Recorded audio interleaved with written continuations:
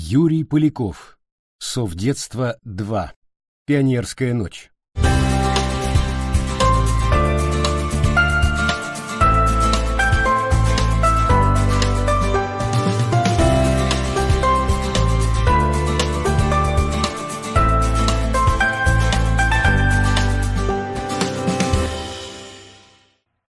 Природа шепчет. Повесть. Глава первая. По четвергам я хожу в изо-студию Дома пионеров Первомайского района. Это на Спартаковской площади, рядом с кинотеатром «Новатор», занимающим первый этаж нового кирпичного здания. А к нему примыкает старинный дом мышиного цвета с куполом, огромными окнами разной формы и высокими колоннами, словно вросшими в стену. У входа слева от тяжелой широкой двери с латунными ручками висит мраморная плита, а на ней золотыми буквами выбито «Здесь 30 августа 1918 года выступал перед рабочими сам Владимир Ильич». Отсюда он, между прочим, поехал на завод Михельсона, где в него стреляла подлая эсерка Каплан. Когда мы с классом ходили в музей Ленина, я видел там в витрине черное пальто вождя, Места, пробитые отравленными пулями, помечены красными нитками, крест-накрест. Я иногда воображаю, как вырасту, изобрету машину времени, перенесусь в прошлое, приду на митинг, протолкаюсь к вождю и тихо предупрежу, Владимир Ильич, не ходите на завод Михельсона, там засада. Что еще за глупости? Усмехнется бесстрашный Ленин. Рабочие ждут, я обещал. Непременно поедем. Но бдительный Дзержинский в длинной до пят шинели нахмурится. Откуда, мальчик, у тебя такие сведения? Из будущего. Ты не ошибаешься? Исторический факт, твердо отвечу я. Честная пионерская. И отсалютую. Ильич будет спасен, история пойдет другим путем. Каким именно, надо еще придумать а меня Феликс Эдмундович наградит именным оружием — золотым маузером с кобурой из карельской березы. У тети Вали есть шкатулка из этого дерева, очень красивая. Посмотреть на мои награды, когда я вернусь назад в наше время, сбежится вся 348-я школа. Любоваться я разрешу всем, но подержать в руках маузер Железного Феликса позволили лишь моему другу Петьке Кузнецову и Шуре Казаковой. Какие только фантазии не приходят в голову, когда, сдав контрольную работу, сидишь за партой и, глядя в манящее школьное окно, ждешь звонок на перемену. Руководит нашей изо студии Олег Иванович Осин. Настоящий художник, бородатый, одетый в грубый свитер, синие брезентовые штаны и обутый в ботинки на толстой подошве. Иногда он останавливается у меня за спиной и, тяжело вздыхая, наблюдает, как я на ватмане пытаюсь карандашом изобразить гипсовое ухо, в моем исполнении напоминающее пельмень. От Осина веет пряным запахом иностранных сигарет. У нас в общежитии такие никто не курит. К нему порой заходят друзья-художники, одетые в такие же свитера и штаны. Посасывая душистые трубки, они хмуро разглядывают наши рисунки, изредка бросая «недурственно», это у них самая высокая похвала. Раз в месяц Олег Иванович читает нам лекции по истории искусства, чтобы мы Репина от Рублева отличали. Задернув плотные шторы на высоких окнах, он гасит свет и с помощью черного проектора, похожего на небольшой гиперболоид инженера Гарина, показывает на белой стене разные знаменитые картины, рассказывая попутно, кто их нарисовал и к какому направлению они относятся.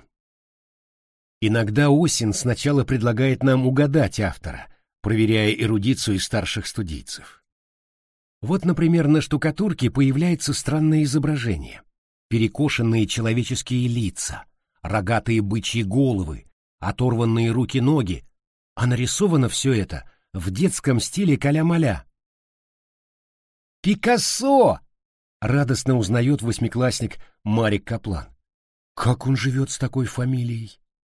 Верно, но только Пикассо, поправляет руководитель. Я тоже так могу нарисовать, простодушно объявляет пятиклассница Даша Лунько. И я могу, вздыхает Олег Иванович. А толку? Однажды он показал нам завтрак на траве, и все захихикали. Мальчики громко, а девочки тихонько, в ладошку. Ну, сами посудите.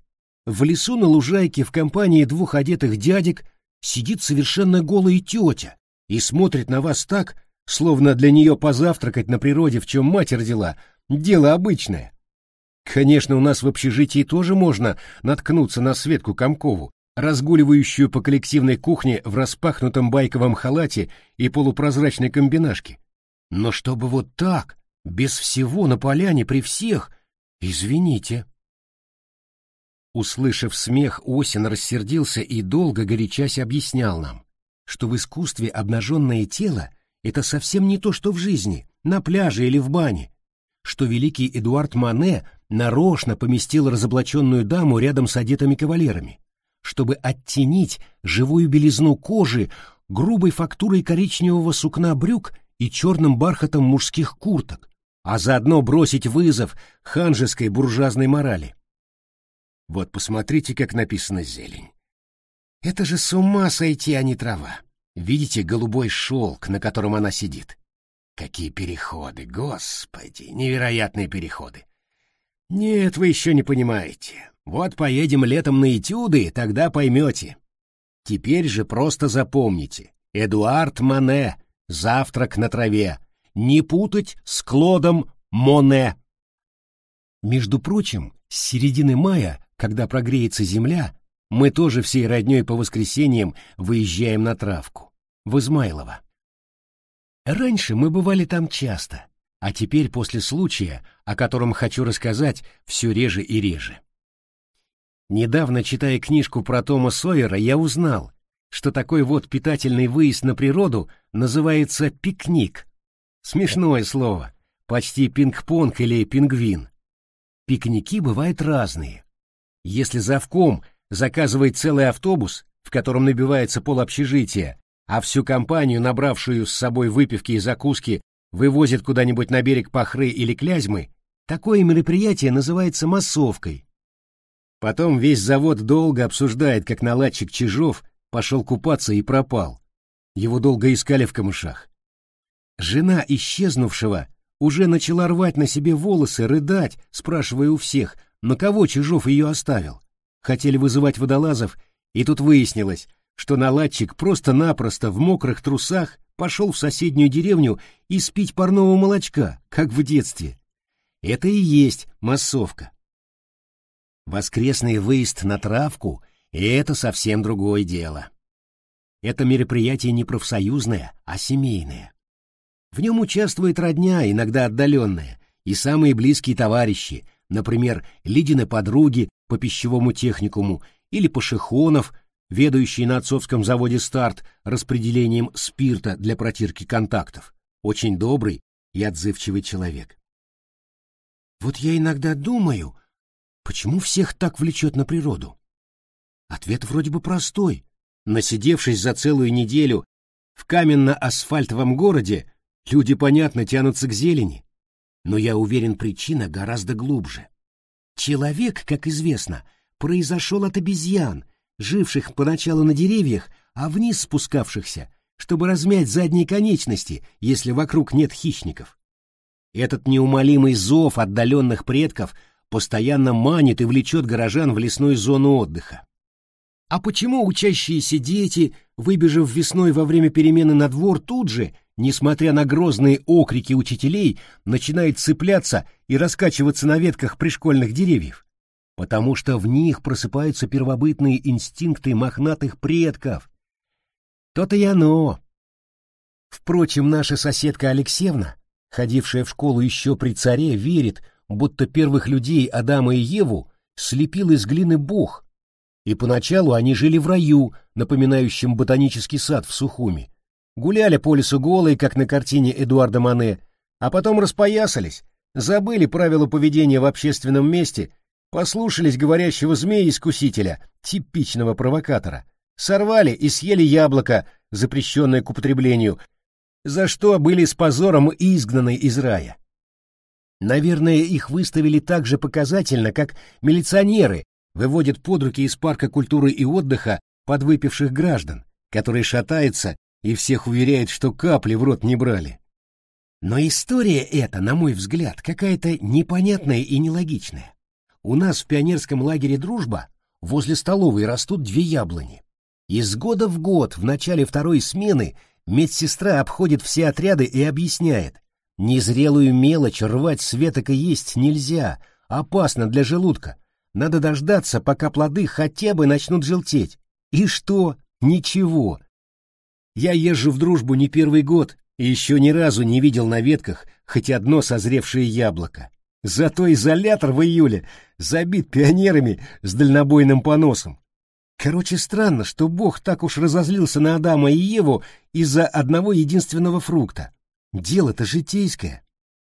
Алексеевна, видя, что я не верю ее словам, обычно нервничает, капает себе ландышевую настойку и читает мне разные места из толстой ветхой книги, Библии.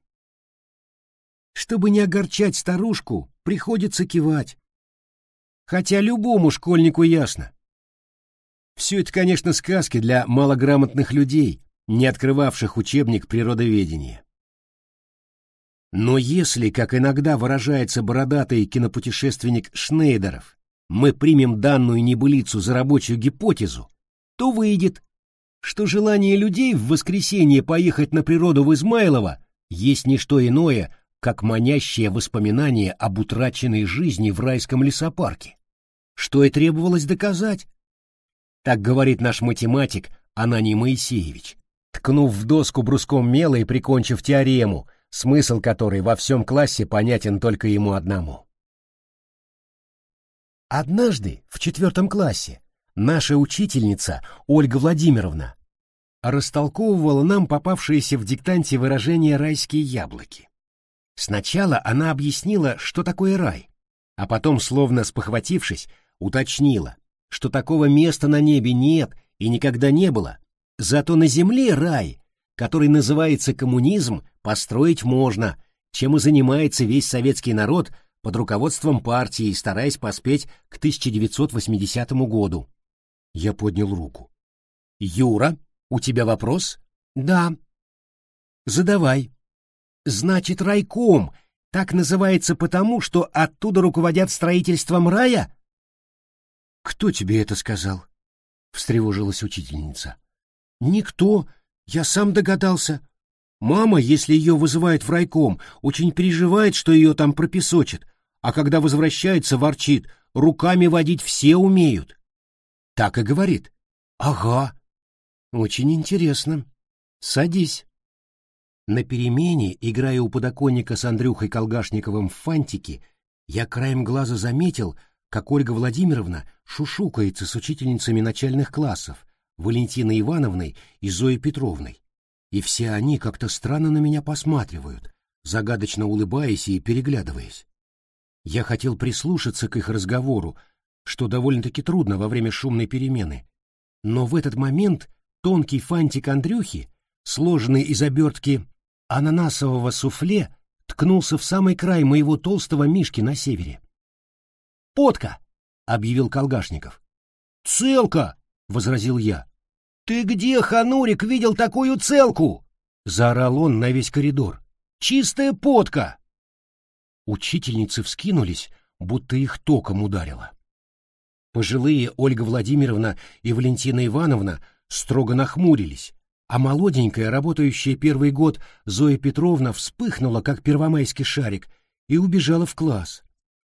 Оставшиеся учительницы подозвали нас, отругали за игру в неположенном месте, конфисковали фантики, посоветовали не употреблять слова, значение которых нам непонятно, и отправили в туалет, мыть руки, оказавшиеся, как всегда, грязными. В уборной стоял густой дым. Курили старшеклассники. Они специально ходят на этаж начальных классов, где ловить их с папиросами никому в голову не придет. Услышав, как мы взволнованно обсуждаем прерванную игру в фантики и недоумеваем, что именно так разозлило учительниц, курильщики обидно заржали и ушли, ничего нам не объяснив. Глава вторая Потом, конечно, мне все растолковали. Дело в том, что подка — слово вполне приличное, а вот... Но я, кажется, хотел рассказать о наших выездах на травку в Измайлово. При чем тут фантики? Ни при чем. Так иногда бывает у бабушки Ани. Она начинает рассказывать про вредную врачиху Хавкину, не выписывающую нужные лекарства, а потом вдруг перескакивает на подушку, из которой неведомым образом исчезла половина перьев. Но у бабушки склероз, с этим даже Хавкина не спорит. А у меня? Неужели бывает и детский склероз? Надо полистать журнал здоровья. Хорошо бы. Тогда меня, как от физкультуры после простуды, освободят и от домашних заданий. Придет в класс новая практиканка, начнет урок, посмотрит в журнал. Полуяков, к доске. А Ирина Анатольевна ей тихонько на ухо. У ребенка детский склероз, от всего освобожден. Ах, простите, мальчик, садитесь на место. С уважением исправится практиканка. Ну вот, опять отвлекся. К делу. Итак, семейный пикник — мероприятие серьезное. Целая операция «И» намечает ее заранее, за неделю определяя время выезда. Договариваются, кто что стряпает и покупает из съестного или выпивного. Сорвать намеченный план могут только чрезвычайные происшествия. Однажды на маргариновый завод именно в выходной день притащилась делегация жировиков из Польши, и Лида, как секретарь партбюро, была вынуждена показывать им предприятие, угощать продукцией и дарить матрешки, купленные за счет завкома. Она страшно переживала, что перед заводоуправлением с весны осталась огромная лужа, что асфальтовая дорожка не подметена, а с доски почета кто-то сорвал карточку фасовщицы Михеевой, похожей на Любку Шевцову из кинофильма «Молодая гвардия». Грешили на водителя электрокара Рябухина, хмурого неглаженного холостяка. Собираясь на ответственное задание и наряжаясь перед зеркалом, Маман без конца повторяла трудную фамилию руководителя делегации — пан Пржмыжшевский.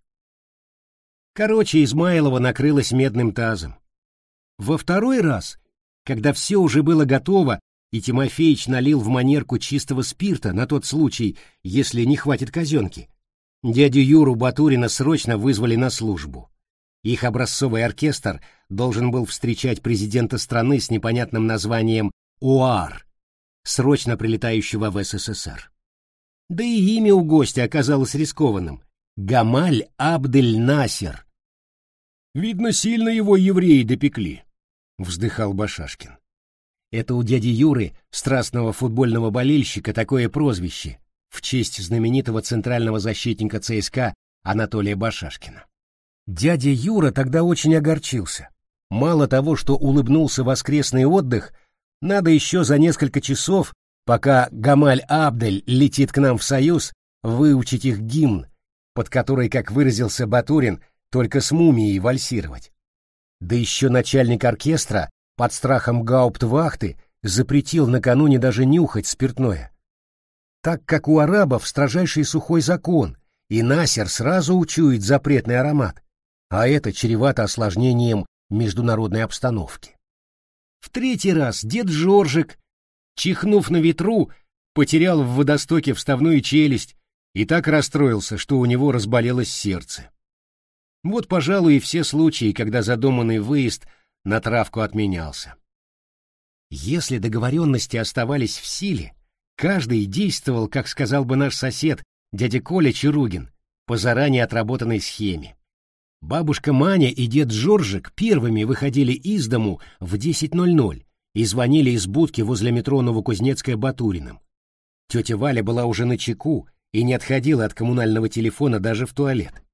Сообщив в трубку, что они тронулись, в смысле пустились в путь, бабушка Маня и Жоржик садились на 25-й троллейбус, который от Балчуга до Ильинских ворот идет минут 10-15. «Выдвигаемся!» — командовал дядя Юра. И Батурины, подхватив заранее сложенные сумки, устремлялись из своего дома, что на углу Большого и Малого комсомольских переулков, к остановке возле булочной.